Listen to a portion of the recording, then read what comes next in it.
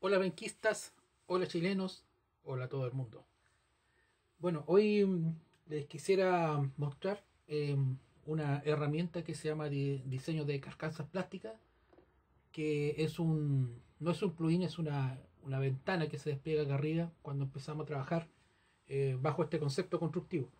Acá tengo un- una, una geometría de, de una carcasa que es una pieza sólida, que está diseñada básicamente con piezas cilíndricas y, un, y una pieza en ángulo que mm, es fácil de realizar. Lo primero que hay que mm, tener en cuenta em, en un diseño de piezas plásticas hay que ver los canales de ventilación o parrilla o rejilla, como se llaman, se, se ocupa normalmente. Eh, la posición de, los de, los de los tornillos donde va sujetada ambas carcasas y la división de esta misma. Ahora, es- esta pieza que está acá es solamente un cuerpo sólido, ahí se puede ver que es un cuerpo sólido, y nosotros tenemos que dividirla en dos para que podamos trabajar en forma independiente a ambos componentes o ambos sólidos. Eh, acá voy a. Lo, pri- lo primero que vamos a hacer, vamos a hacer un vaciado de la pieza. Esta pieza es, es una sólido. Si nosotros colocamos en, estilo de vista y colocamos en, forma de alambre, se puede ver que no, no hay espesor. Si lo hubiese, aquí tendría que haber una pared, ¿no es cierto? Por todo el, contorno interior de, de este objeto. Entonces, vamos a ir de nuevo al estilo sombreado con arista. Ahí está. Ahora vamos a modelo 3D en vaciado. Ahí me está diciendo el espesor. En este momento yo no tendría que marcar ninguna, ni- ninguna cara, ni siquiera arista, ni vértice, solamente colocar el espesor que necesitamos. Voy a hacerlo bien grande el espesor para que se note. 2 milímetros interior. Aceptar. Y ahí ya está listo el vaciado interior. Si vamos de nuevo a vista, en modo de alambre, colocamos una vista derecha, por ejemplo, ahí ya se ve que esa línea con esta tiene 2 milímetros de espesor en toda la pieza. Ahí se puede ver que recorre internamente el, el espesor que nosotros colocamos. Ahora eh, vamos a dividir este sólido por la mitad. Uno podría definir si yo quiero cortar en diagonal, por ejemplo, en horizontal o en vertical. Da lo mismo, solo para este evento lo voy a cortar en forma horizontal. Entre medio de estas dos, estas dos líneas vamos a una línea que pasa a lo largo. Entonces vamos a ir al origen. Vamos a buscar ese plano que es el que necesitamos. Marcamos este icono de dibujo. Y vamos a trazar una línea que va a pasar a lo largo de toda la pieza. Ahí se puede ver, termino el boceto. Esa línea va a ser la línea divisoria de todo este objeto. Entonces ahora en modelo 3D vamos a dividir. Ahí está la herramienta. Aquí aparece, aparecen tres alternativas. Eh, vamos a dividir el, el sólido por la mitad. Entonces marcamos este icono y se puede ver que ya el objeto tiene esas líneas punteadas color morado y después marcamos la línea divisora que se fue, fue la línea recta horizontal aplicamos y cancelamos entonces ahora este objeto está dividido en dos sólidos. Aparentemente no se ve pero acá en la división aparece el sólido 1 y aquí el sólido 2 entonces a este sólido 1 botón derecho vamos a cambiar el color las propiedades.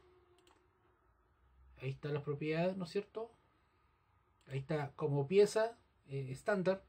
Entonces uno podría colocar eh, un color que lo defina o que lo caracterice del otro del otro cuerpo. Vamos a ver aquí no sé a ver. Oliva oscuro. Ahí está oliva oscuro y el otro lo vamos a mojar amarillo tal como aparece ahí. Ahora estas piezas ya son independientes entre sí. Ejemplo. Por ejemplo sólido 2 lo hago invisible ahí se puede ver que está el sólido número 3 y viceversa si yo lo hago visible y este invisible se puede ver que aparece en la parte de color oliva arriba, ¿no es cierto? Que parece un sombrero y ahí está la parte 2 de la carcasa. Vamos a hacerlo visible ambos dos. Ahora lo que vamos a hacer va a ser un diseño de pieza de plástico que es este, esta, esta, esta ventana, ¿no es cierto? Que aparece acá. Que para sacarla uno lo, lo expande bajo este icono y busca aquí piezas de plástico y aparece toda la alternativa. Vamos a trabajar, eh, no vamos a trabajar con todas las herramientas que aparecen acá, vamos a trabajar con esta que se llama parrilla y después vamos a trabajar con los soportes para fijación, que son típicos donde va el tornillo en rosca lata o con tuerca, ¿no es cierto?, que afirma ambas carcasas. Vamos por la parte más fácil, eh, vamos a hacer una rejilla o parrilla de ventilación en la parte superior, aquí la parte verde, entonces eh, necesito crear un plano sobre esta, esta cara, por ejemplo ahí. Ah, perdón, ahí marqué el plano, vamos si me resulta. Ahí está. Da lo mismo la altura, lo importante es que está arriba de esta superficie. Ahí está, ¿no es cierto? Este, este plano que está ahí, bueno, están acompañados, son dos, plano trabajo, esto lo voy a hacer invisible. Sobre este, este plano voy a crear un dibujo, voy a crear un círculo, eh, no sé, unos 130 milímetros, voy a crear otro círculo por acá,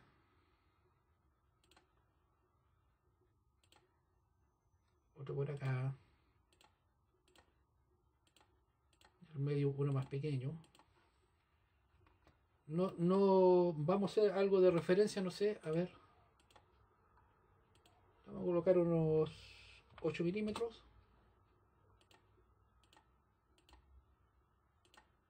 Igual, para que sea bien tupido el, esta, esta rejilla de ventilación.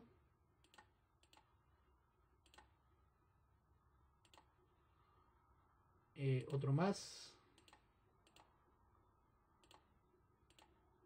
y vamos a colocar unos dos más. A ver yo creo que uno más. Ahí. Entonces de nuevo dimensión.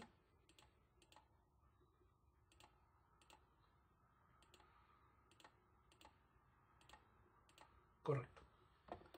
El, la circunferencia exterior esta que está con rojo ese va a ser el, borde que se llama esto se, se va a llamar la isla esto se, se, van a llamar eh, las circunferencias que contienen toda la estructura y tenemos que dibujar, o rib, perdón, esto se llaman rib, y vamos a dibujar los largueros que van a unir ambas piezas. Entonces el larguero yo lo voy a construir con un arco. Ahí da lo mismo que salga, y como quiero que se repita este larguero, vamos a hacer un patrón circular, marco el larguero, el arco, perdón, y el eje y ahí se repite eh, 6 veces, no sé, podría ser 8. Ahí lo vamos a dejar en 8. Aceptar. Ahí terminamos el boceto. Entonces, la idea es que esta geometría que acabamos de dibujar eh, se pueda calcar sobre la superficie verde que estoy marcando con rojo y puede ser una superficie plana, podría ser una superficie curva, en diagonal, da lo mismo, pero lo importante es que esto se calque sobre la superficie para crear esta parrilla o rejilla de ventilación. Entonces lo voy a colocar acá en isométrica para que se vea la herramienta. Ese plano que está ahí lo voy a hacer... no, yo, a ver, la mujer sin... Ahí lo hice invisible para que se note mejor. Entonces, vamos a parrilla. Entonces, primero el contorno, que es el exterior entonces el contorno dice que tiene 2 milímetros de, alto. Yo lo voy a dejar unos, bien exagerado, unos 5. Después tiene ancho 1, voy a dejar 2 para que sea, sea, diferente a los demás. Y aquí voy a dejar un milímetro, ahí se ve que es la pestaña que queda hacia arriba. Vamos a dejar unos 2. Listo. Después la isla es el centro, que es este. En este caso, si el centro tuviese otra circunferencia adentro, uno podría colocar el espesor que aparece representado acá. En este caso lo voy a dejar sólido. Los riffs son estos, las circunferencias que están desde adentro hacia afuera o viceversa. Entonces marco, marco 1, 2, 3, 4, 5 y 6. El riff aquí dice eh, un milímetro espesor, ya lo voy a dejar igual. 2, perfecto. Aquí vamos a dejar 2. Eh, Ahí se volvió a calcular. Y el larguero, que son los arcos, entonces, un larguero, 2, 3, 4, 5, 6, 7, 8. Ahí está. Ahora, el acá también se puede modificar, lo voy a dejar igual. El dibujo es el ángulo de molde. Eh, no lo voy a tocar, voy a dejar solamente las cuatro alternativas que marqué. Aceptar. Y ahí se puede ver que se hizo una rejilla de ventilación. Entonces, ahí estaría el primer paso que estamos trabajando. Vamos a hacer desaparecer el, el cuerpo de abajo. Y ahí se puede ver que está perfecta esta, esta rejilla. Ok, ahora esto fue una, ¿no es cierto? una representación eh, circular. Voy a hacer aparecer de nuevo el, el cuerpo. Bueno, el, acá mmm, vamos a hacer lo que se llama eh, labio eh, group and lip, que se, que se denomina que el típico canal de una pieza plástica esto un poquito más, más complejo. Vamos a trabajarlo por el exterior de la, de la geometría, ¿cierto? Entonces vamos, vamos a empezar por el sólido, el verde vamos a trabajar primero, entonces el sólido 3 lo vamos a dejar ahí invisible. Voy a colocar la vista en vista de sombrado con arista, entonces acá vamos a ver si sale eh, labio. Entonces dice aquí eh, arista de campo y cara guía. Entonces la arista de campo lo vamos a bajar por afuera. Y la cara guía es la cara de soporte. Acá se ve una pequeña pestaña, ¿no es cierto? Que vendría siendo la forma. La forma, ahí lo estaba mostrando lo voy a ver en vista. Eh, ahí está. Lo voy a girar un poquitito. Eso es lo que está pasando. ¿Se fijan? Ahora, esto que está acá. Todo esto se puede modificar. Yo, yo lo podría. Vamos a inclinar este mejor. A ver si se puede. Ahí. Ya esto ya ahí se ve que se modificó. Si yo lo vuelvo a, mover, debería cambiar ahí. Ahí dice que tiene un milímetro. Vamos a dejar un milímetro, aunque, bastante poco. De haber, hecho un poco más gruesa la, este caminito, ¿no es cierto? Aceptar. Y ahí tenemos, ¿no es cierto? Nuestro labio. Correcto. Entonces ahora este lo va a hacer visible el otro invisible. Vamos a trabajar con la pieza color amarillo. Ahí estamos. Entonces, malo 3D. Labio. Ahora marcamos el de arriba, que es la ranura. Entonces, arista de campo sería esa. Y la cara guía sería esa.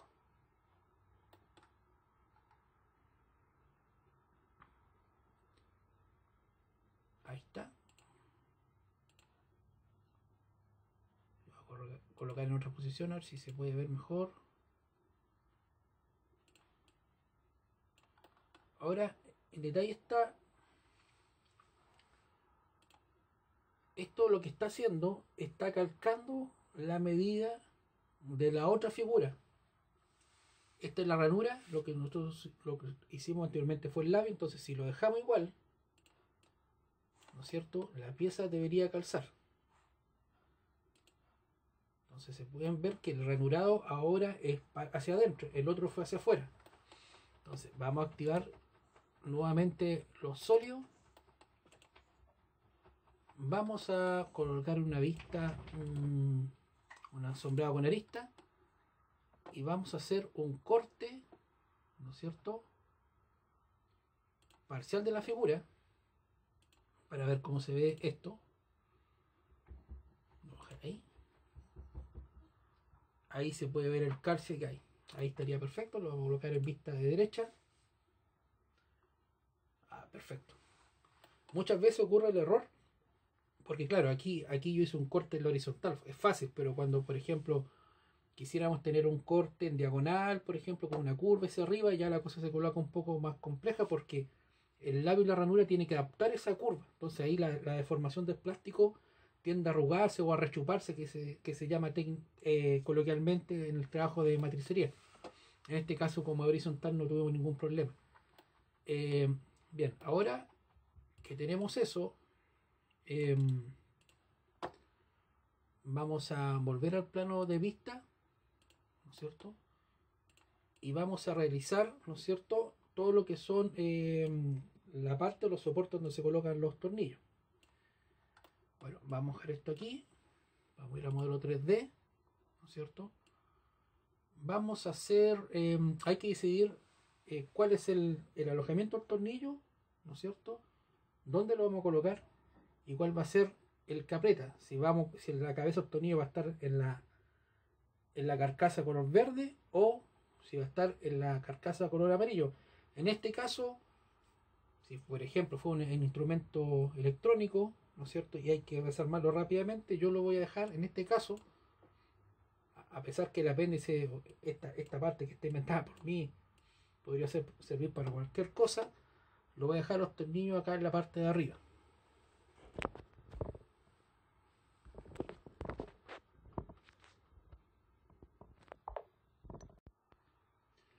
Ahora, ya que tenemos la, el vaciado, la rejilla, vamos a hacer los soportes para los tornillos.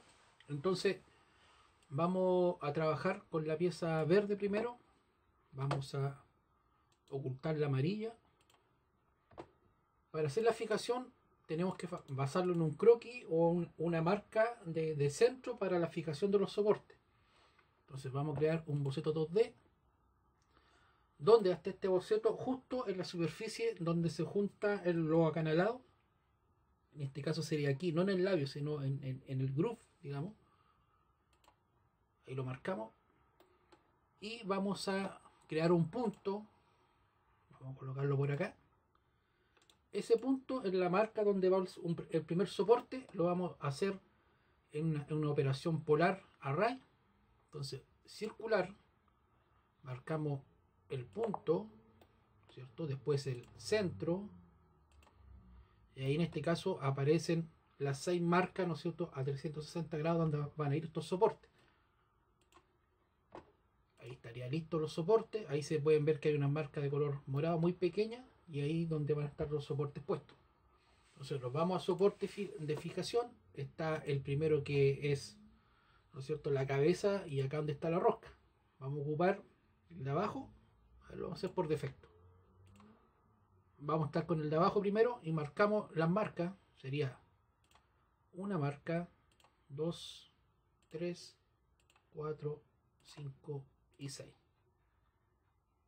Esa marca eh, es donde está la rosca, ¿no es cierto? Y donde se va a meter el, tornillo. No tendría que tener una salida hacia el exterior, solamente es una superficie llena.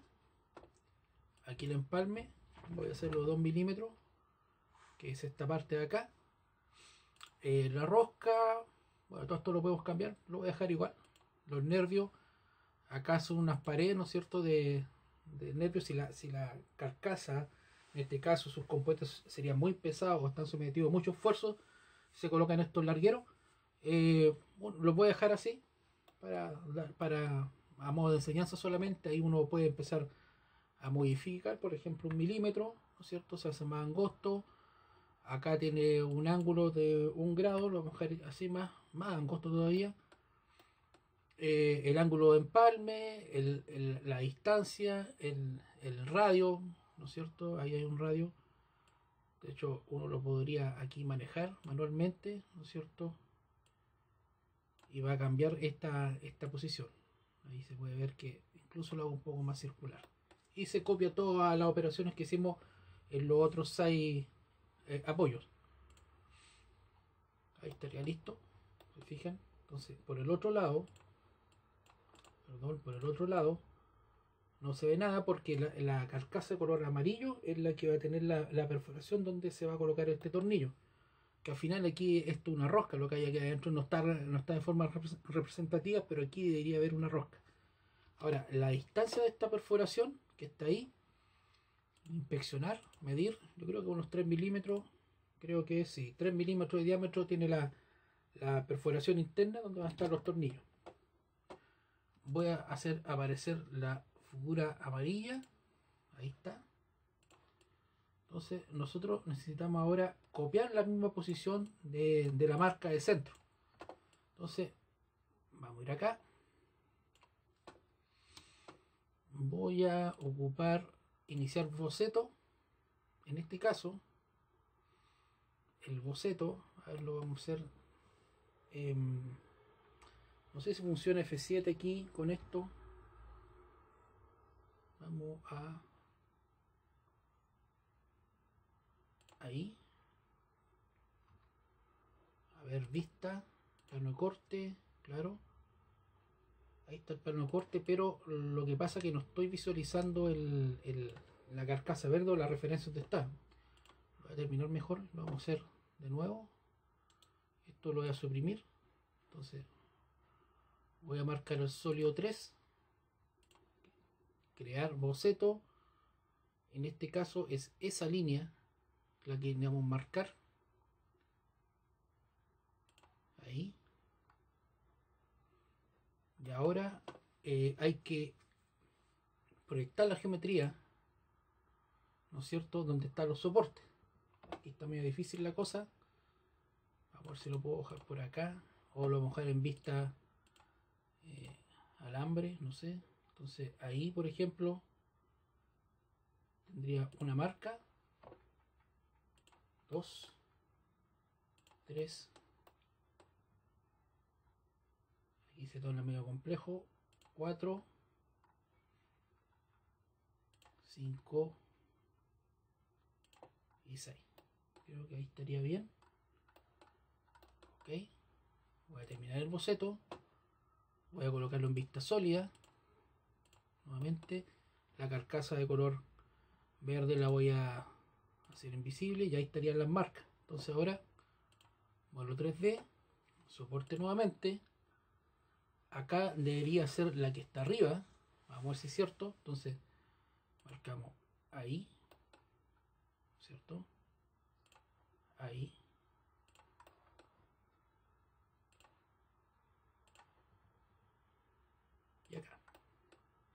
esto debería tener una perforación al otro lado. Creo que está bien, ¿sí?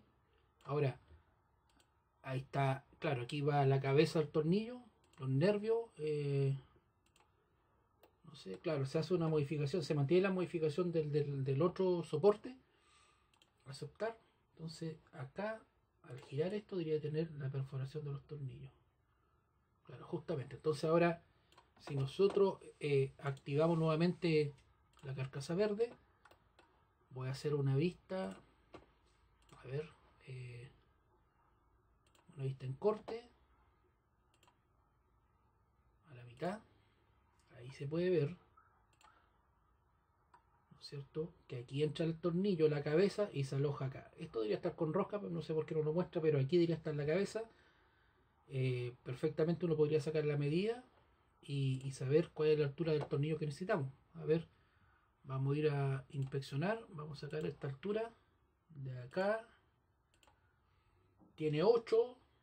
8 y después de aquí ahí tiene 1,2 aproximadamente 10 milímetros de largo del tornillo más la cabeza unos 12 milímetros. Aquí deberían haber unos 10 milímetros no es cierto o incluso menos porque el tornillo no llegará hasta el fondo. Es unos 9 milímetros y con la cabeza acá que la cabeza en este caso debería tener vamos a sacar una vamos a sacar si se puede encontrar la medida. 7,5 de diámetro. Vamos, a ver si lo podemos hacer al tiro. A ver. Entonces, esto. Eh, vamos a dejarlo aquí. Voy a de nuevo activar. Ahí está seccionada. Lo que podríamos hacer una eh, ahora derivar, derivar las piezas, porque si esto lo guardamos, perdón, si esto lo vamos a guardar, se, va, se guarda como un solo componente. No, no tiene dos, no tiene, que es este el archivo, no tiene dos piezas por separado. Entonces, lo que hay que realizar es derivar estas piezas. La derivación de pieza independiente, voy a acordarme dónde está. Creo que aquí en administrar. Vamos a ver, vista entorno. Empezar, administrar. Esto parece que es derivar. No, no es derivar esto, es otra. El componente, a ver. Esa. Esa. Ya. Ahí está, hay dos. Si hubiese otro corte, aparecen acá todos los sólidos que yo voy eh, cortando o armando. Siguiente. Es verdad, aquí diría aparecer otro cuadro de diálogo. Claro, aquí aparece sólido 2, sólido 3 normal, escala 1 a 1, perfecto, es una pieza, es una pieza en un ensamble. Eh, aplicar. Ahí se empieza a crear la, la derivación. Ahora, claro, aparentemente está igual esto. Yo lo voy a cerrar. ¿Sí? Aceptar. Acá, en este momento, ya la pieza está como eh, ensamble automáticamente. Em, lo voy a cerrar. ¿Sí? Y si vamos al escritorio,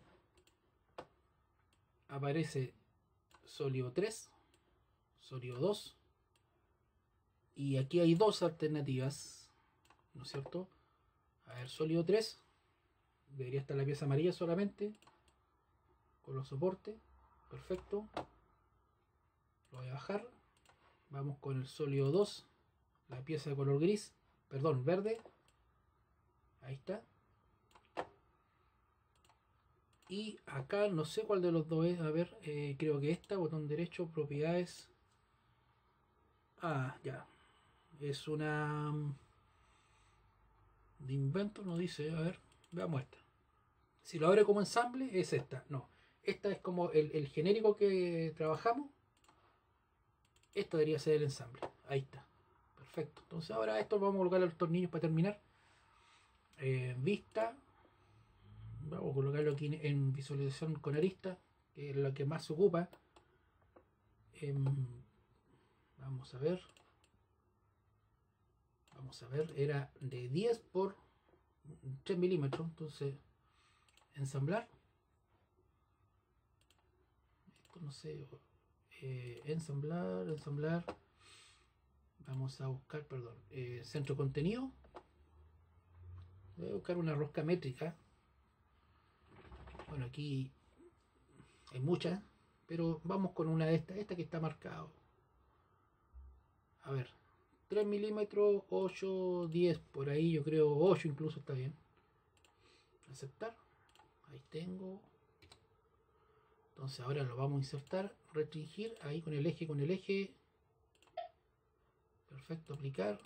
Obviamente esta cosa está suelta. Entonces ahora vamos a unir ese borde exterior o diámetro exterior con, obviamente, ese que está acá. Aplicamos. Ahí tenemos el primer tornillo. No quedó tan no creo tan cristiano que digamos, pero bueno, funciona. Bueno, tendría que hacer lo mismo con, los otros, eh, las otras cinco perforaciones, pero vamos a ver si podemos ocupar algún patrón de esto que está acá. No sé si metía patrón circular, en este caso del tornillo, al eje. Ahí estaría el eje, ¿sí? Bueno, cualquiera, si están simétricos, por, ojalá que no me equivoque, 5.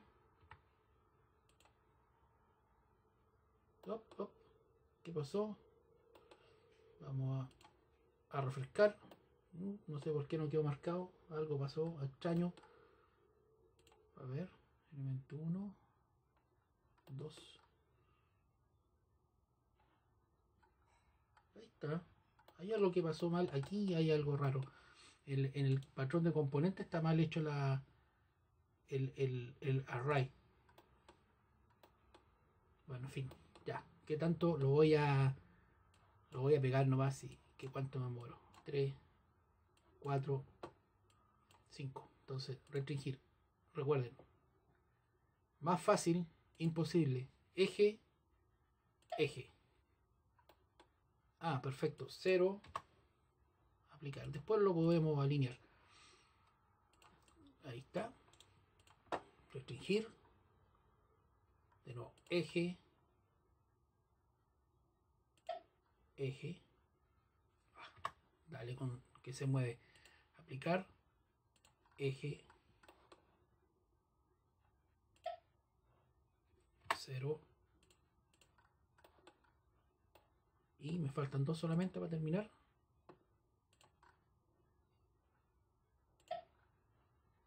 Cero.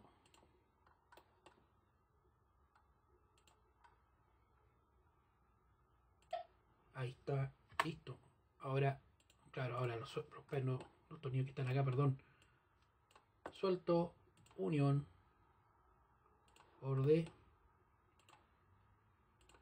aplícate aplícate.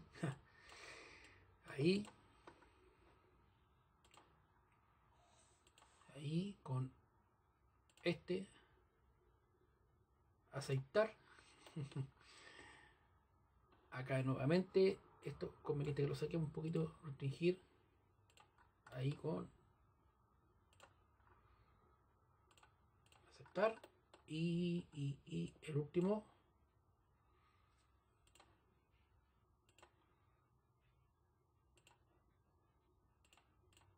aplicar y parece que estaríamos.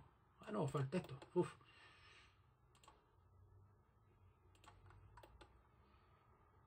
Y con ese. Perfecto. Ahí estaría lista la carcasa. Eh, tal vez aquí falta mm, para terminar, ¿no es cierto? Eh, podría ser un, un bisel, ¿no es cierto? Un redondeo en los extremos, pero eso no lo voy a hacer ahora. Eh, bueno, ahí estaría listo. Eh, espero que les haya gustado el video. Eh, hagan un like, obviamente. Y hay que compartir esto, el conocimiento.